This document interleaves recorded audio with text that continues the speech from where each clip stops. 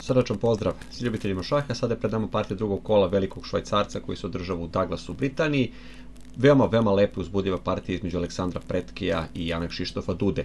Treba reći da je u ovom kolu e, nešto veći broj remija nego u prvom, veliki broj e, veoma, veoma uzbudljivih partija, izuzetno lepa pobeda Karuane protiv Hansa Nimana, ali tu partiju ćemo prilikom preskočiti jer smo pogledali zaista veliki broj karuaninih partija u prethodnom periodu. Pre svega desetak dana smo videli partiju sa američkog šampionata između Nimana i Karuane, tako da o prilikom menjamo malo naše takmace i gledamo partiju između Aleksandra Pretkija, novopečenog e, srpskog šahiste, novo pridošlog iz Rusije i Janak Šištofa Dude. Veoma, veoma uzbudljiva partija koja je otpočela Damirim Gambitom, i nakon poteza skakač C3 na ovom mestu se opredelio za veoma oštar nastavak duda, dakle D pešak uzima na C4, takozvana bečka varijanta. Naravno na ovom mestu se može žirati lovac B4, lovac E7, eventualno čak i C6, prelazak u poluslovenku, D pešak uzima na C4, veoma oštra varijanta i ovo isto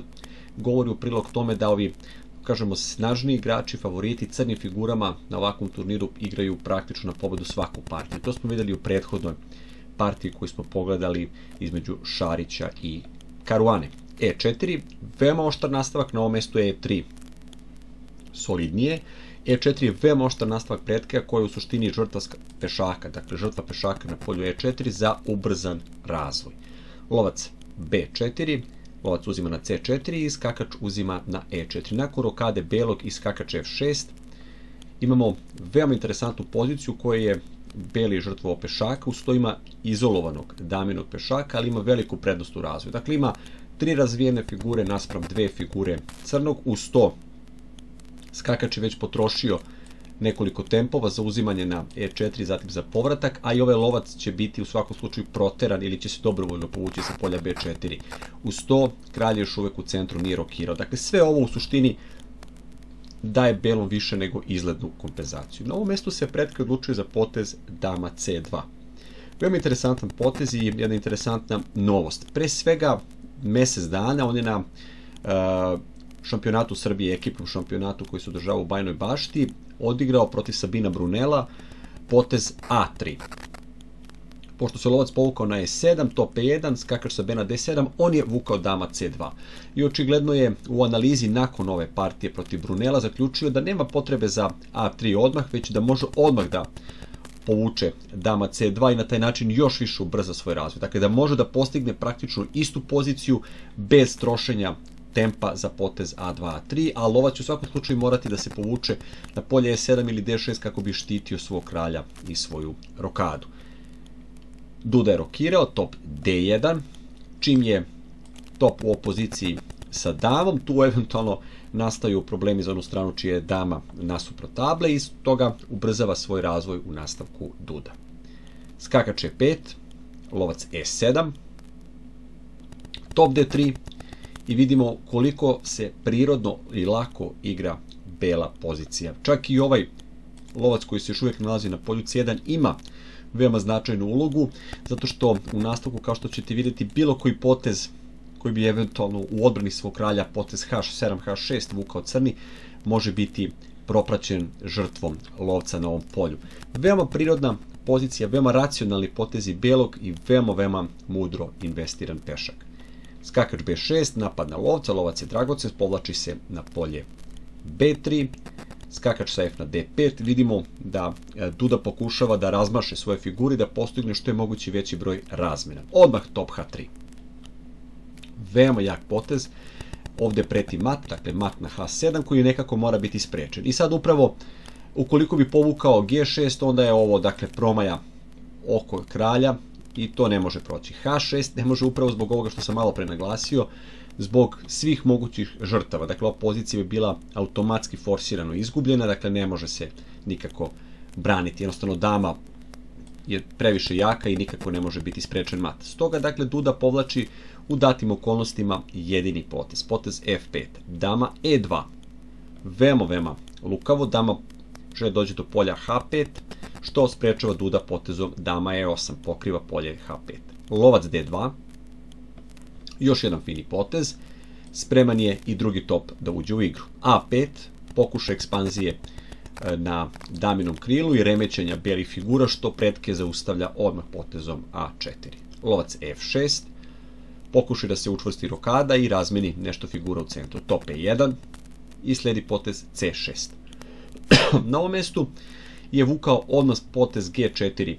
Veoma prirodno, veoma ambiciozno, e, pretke i u suštini igra, kako se kaže, uz maticu, njemu jednostavno sve teče u ovoj partiji, igra jednostavno kako ga potez nosi. E, lovac C2 uz sledeće G4 je možda bilo još solidniji, ali G4 je potez koji u suštini sa takmičarske tačke gledišta se pokazao veoma dobrim jer je e, praktično uplašio, da tako kažemo, Dudu i isforsirao njegovu reakciju odmah uzimanje na polju E5. Naravno, pošto je lovac uzeo skakača na polju E5, e, pretke je uzeo pešakom. Uzimanje damom nije tako dobro zbog toga što omogućava crnom da uzme na G4, pošto top H4, dama G6, jedan put se konsolidovao crni, verovatno će postići razmenu dama, posebno što je sada i beli kralj otkriven. Jednostavno nema razloga pretke za ovakve egzibicije, mirno uzima pešakom na E5. Na ovom mestu sledi potez lovac D7, pokušaj da se uvede u igru preostala nerazvijena figura, Verovatno je skakač C3 bilo nešto jače, postiže tempo na damu, jednostavno mora odmah pešak uzeti. I sada skakač D5 ulazi drugi skakač, sa svakom razmenom se pozicija crnog e, poboljšava, odnosno da kažemo njegovi odbrambeni zadaci se olakšavaju. Ukoliko C4, naravno skakač E7 i pozicija je svakako crna slaba u smislu e, pasivnosti, ali veoma je teško probiti jer je postigao određenu broj razmena. Stoga, dakle, skakač uzima na C3 verovatno bilo bolje uz centralizaciju preostalog skakača i onda manevar eventualno i na damino krilo. Ali lovac D7 je prirodan potez.